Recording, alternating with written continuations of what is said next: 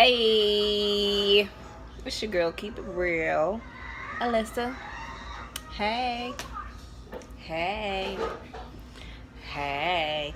So I haven't been around in a while, I know. So today I'm coming to you to share one of my dishes, one of the dishes that I do like, and it is called chicken parmesan. Now, chicken parmesan I don't really do as much as often. I was in the mood because once again, another year round baby number three.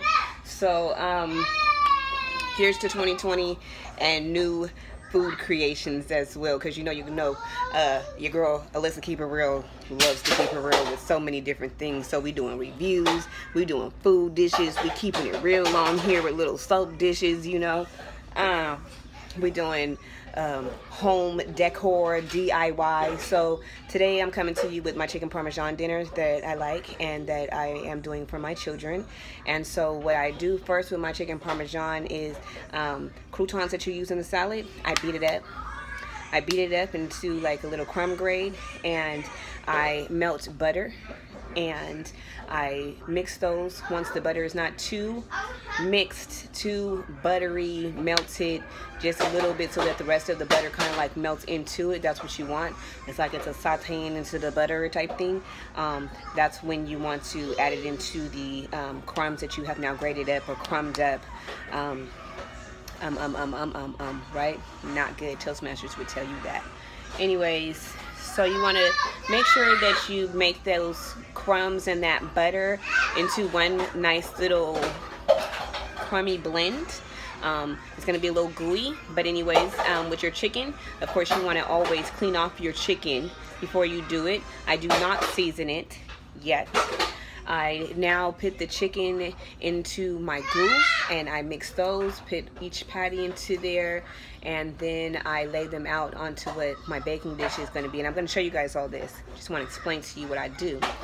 And so from there, I make my own red sauce, and I do use Prego as my main dish. That's my son Prophet in the back yelling at his cousin. Um, they're playing with the blocks, and I told them they cannot play with the blocks, and so, you know, clean up time. So anyways, um, so you want to make your own little red sauce or you can just use your own spaghetti sauce if that's what you want to do. But what I like to do is make my own spaghetti sauce type thing, marinara sauce.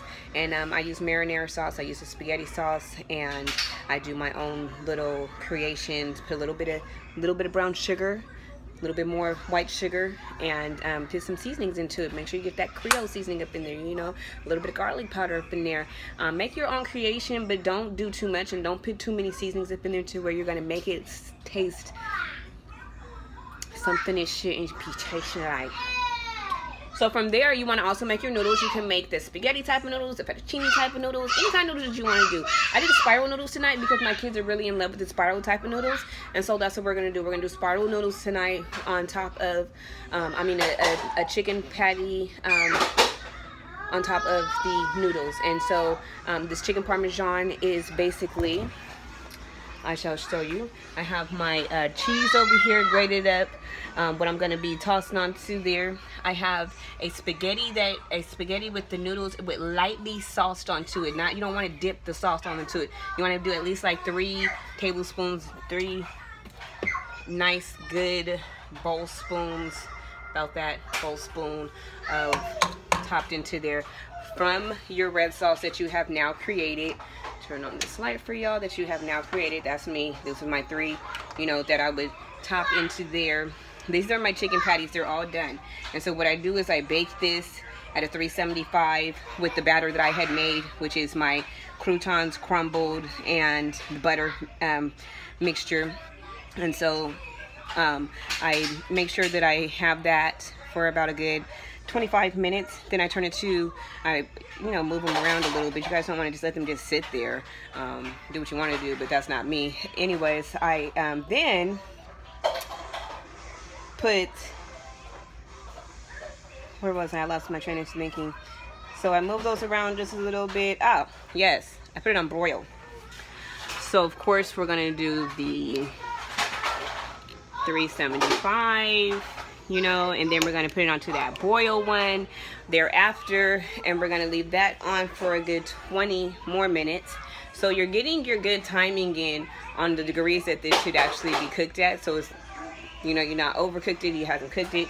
So by that time it's been coated, it's nicely done. Now I want to put my seasoning garnish up on it because the butter and the um, seasonings from the croutons have already um, succulated in. And I moved them around so that they can get their little space of, you know, flavoring into there. And so from there, from there, what I do is get my kids shit out and start making them a dish. So like I said before, you just want to basically lightly put on the, the sauce onto your noodles. Lightly put on the sauce into your noodles so that you're not over saucing yourself because this isn't a chicken spaghetti this is a chicken parmesan. This is something um, you know spaniard you know type thing that was created a while ago. And so from there I want to put the noodles that are lightly sauced. I want to then get my cheese that I have um, grated up and put that over the top part where I know I'm going to lay my chicken at I'm going to put one of my chickens. I'm going to lay that on top of there. I'm going to lay a little bit more cheese on top of my chicken. Okay, so basically what I did, I have my paper plates, affordable paper plates. I have my noodles. I put my cheese lightly onto there. Then I put my chicken onto there. And then I lightly put my um, cheese on top of that chicken. I want to come over here. I want to get my sauce. I don't want to overdo my sauce. I want to put just a spoonful of sugar makes the medicine go down. The medicine go down. Medicine go down. And I want to lightly put some sauce onto that bad boy.